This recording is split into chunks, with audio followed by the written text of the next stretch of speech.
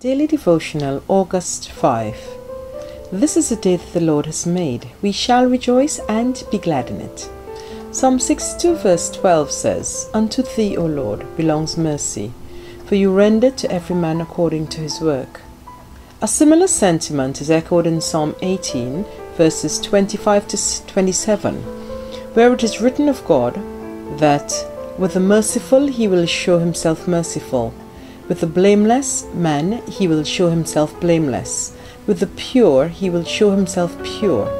And with the devious he will show himself shrewd. He will save the humble people, but will bring down haughty looks. Then, in Ephesians 6 8, we are told that whatever good anyone does, he will receive the same from the Lord, whether he is a slave or free. These three scriptures serve to remind us that it is our role to love, exhort, help, and lift up one another. I recently read a couple of chapters in a book that spoke of blessings and curses, and was surprised to find out that the original Greek meaning of blaspheme is to speak evil about anyone, believers and unbelievers, not just God as I'm sure a number of people think.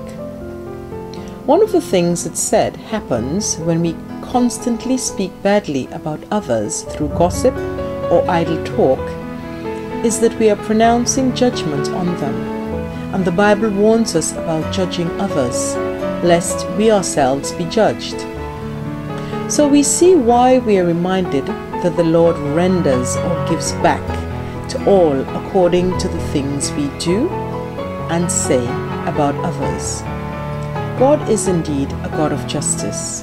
I praise you, Lord. The three scriptures are truly reflective of Luke 6:31, which tells us to do unto others as we would have them do unto us.